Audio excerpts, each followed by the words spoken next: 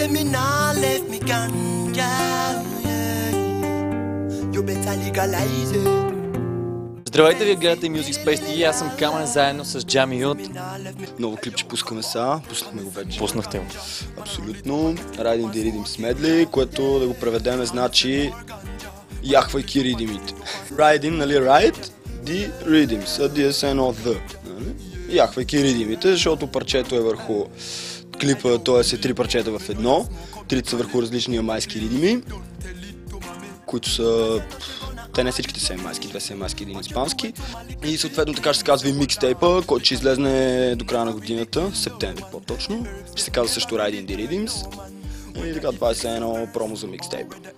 Чудесно. А, С кого работи по песента? По песента с а, видеото е продукция на Hit Shop Music и по парчето също съм работил с Hit Shop основно. Видеото м, изглежда много свежо, много шарено, точно такова каквото трябва да бъде. А, къде го снимахте? Ами, основно в дружба. Имахте ли някакви гафа по време на снимките? Нещо смешно?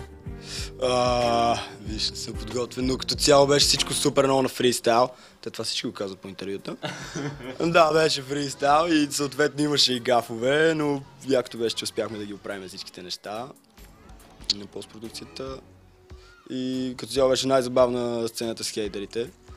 Защото там се очакваше да имат други мои хора да, се, да бъдат заснети като от моето крю. Те не можаха да дойдат и затова така се получи още по-комично, но пък според мен пак е. Добре, а, а каква беше идеята на това, нали, че всъщност нали, тръгвате с някаква закачка бой, пък след това се прегръщате? Все едно някакво е... Просто не издържах, защото има някакви хейтери. И исках да направя аз едно такова парче. Не, не възнамерявам да пея много за хейтерите, но просто исках да направя едно такова парче. Тоест, цялото парче, като се чуе, се разбира, че хем ги дисвам, хем също си казвам, че то няма никакъв смисъл от това, защото всички сме едно и просто сме различни, затова няма как да се харесваме всички. Но мислиш ли докато още е топечко и е сезона да направиш някакво турне, нещо такова? О, да, да, значи участията се едно след друго. Веднага поеме на път с Shop. Правиме турне, което е Bobo and Friends, Good Times Summer Tour.